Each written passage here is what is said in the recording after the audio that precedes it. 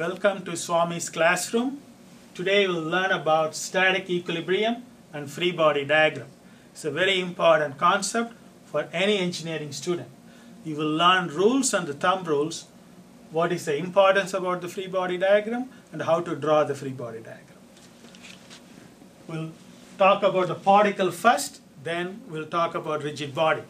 In particle, the forces come towards the particle or forces go away from the particle.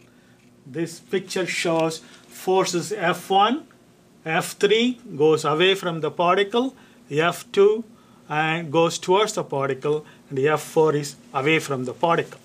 And some forces along the x and y direction, some of them F2 and F1 are inclined forces.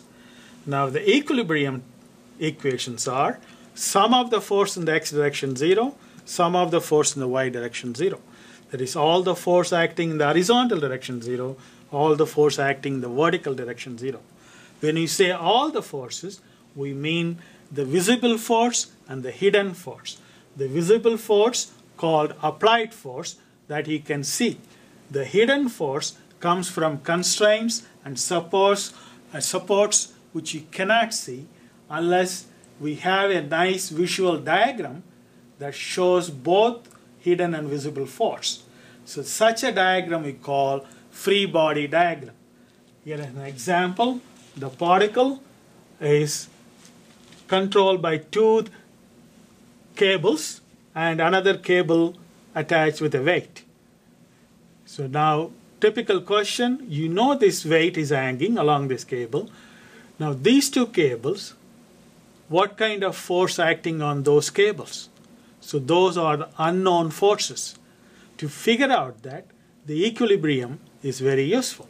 So to show the particle in equilibrium, you just cut loose a particle from the surroundings or isolate the particle and show it in a diagram like this. So the particle is isolated. Now you show all the visible force, applied force, which is the weight, that is the visible force. The invisible, hidden force, or the tension along each cable supporting the particle.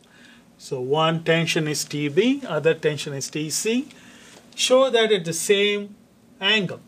It's a theta 1, that is theta 2, same angles are shown. Now, resolve the inclined force the x and y directions. So TB measured from horizontal axis, so the horizontal axis will be a cosine component. TB cosine theta 1.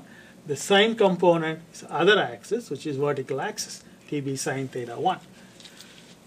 The tension TC measured from vertical axis, angle theta 2.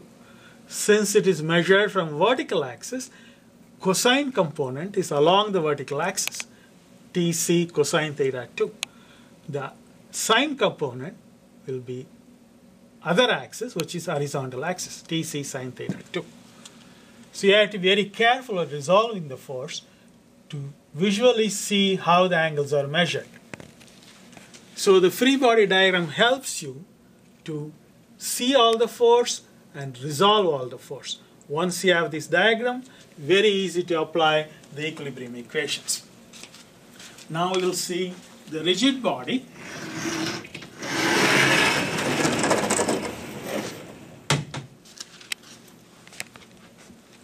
The rigid body, I took a beam as an example.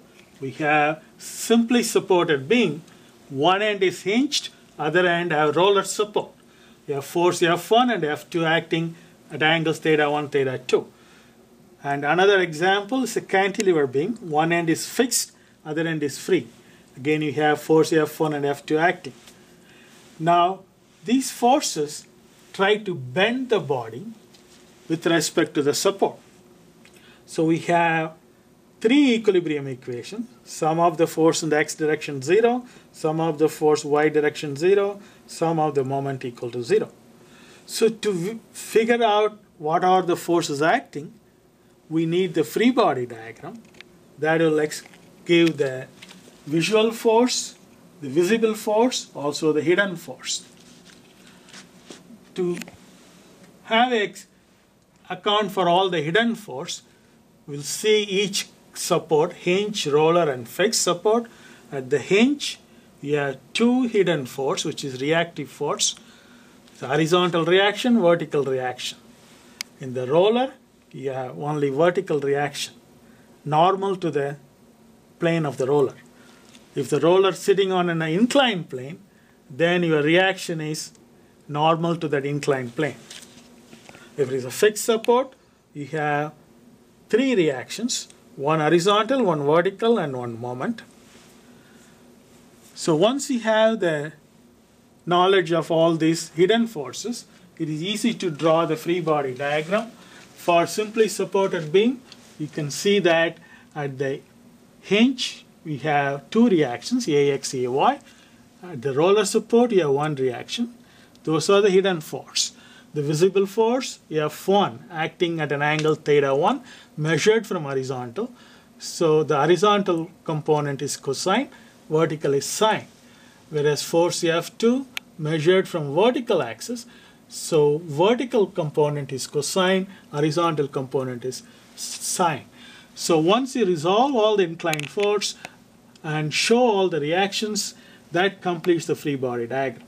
Once you have the free body diagram in front of you, we can easily write the equilibrium equations. So that's the objective of this lecture. Hope you enjoyed it. Happy learning.